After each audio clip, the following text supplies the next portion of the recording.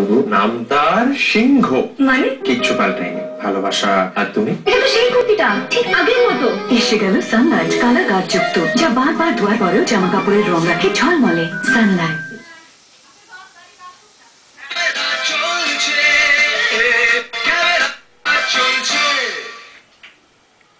একজন হাওড়ার অন্যজন কলকাতার আর তৃতীয়জন উত্তর চব্বিশ পরগনার। পাশাপাশি তিন জেলার তিনজন মিলে ট্রায়ো। একাডেমি অফ ফাইন আর্টসে অনুষ্ঠিত হয়ে গেল এই ট্রায়োর চিত্র প্রদর্শনী। তিনজন যেমন তিন জেলার, তেমনি তিনজনের বিষয়বস্তু আলাদা। প্রবীর চক্রবর্তীর মাধ্যম যেমন মিক্সড মিডিয়া তেমনি নিহারদের কোলাজ আবার অনির্বাণ শেঠের মাধ্যম চামড়ার উপর শিল্প কাজ নিঃসন্দেহে চামড়ার উপর অনির্বাণের কাজ প্রশংসার দাবি রাখে। পশু বিমান বা বন্দি পশু তাদের মধ্যে উল্লেখযোগ্য। ইতিমধ্যে তিনি তার কাজের স্বীকৃতি পেয়েছেন বিদগ্ধ মহল থেকে। আমি চামড়ার উপরে যে ছবি আঁকি, এই চামড়ার উপরে ছবি অনেক বছর আগে জার্মানিতে আল ব্রাকেট ডুরার বলে এক ভদ্রলোক কিছু ছবি এঁকেছিলেন। সেইগুলো এখন লন্ডনে ব্রিটিশ মিউজিয়ামে রাখা আছে।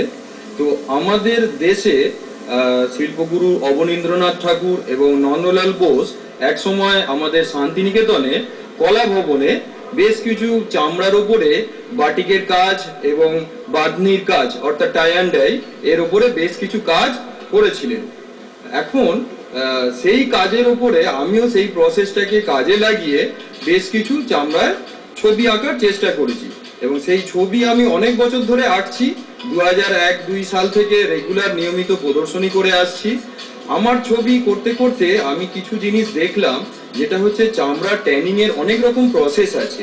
যেমন mineral tanning aldehyde tanning synthetic tanning তো আমি করে করে দেখলাম যে ভেজিটেবল ট্যানিং অর্থাৎ ভিটি লেদারের ওপরে আর ক্রোম ট্যানিং এর যে লেদার ক্রোম ট্যান লেদার, এই দুটো লেদারের উপর ভালো কাজ করা যায়। এবং সেই ট্যানিং আমি চেন্নাই থেকে সেই চামড়া আমদানি করে তার উপর হ্যাঁ চামড়াটা বেসিক্যালি ভেড়ার ওপরই কাজটা আমি করি। আর শুধু তাই নয়, এর বিভিন্ন রকম প্রসেস আছে। হ্যাঁ প্রথমে চামড়াটাকে ধুয়ে, তারপরে কাঁচের স্ল্যাবের ওপর রেখে বেলে, তারপরে কাজটা করি। আমি যেহেতু এই প্রাণীদের চামড়া ব্যবহার করে কাজ করছি, সেই জন্য আমি প্রাণীদের কথাই কিছু বলতে চেয়েছি।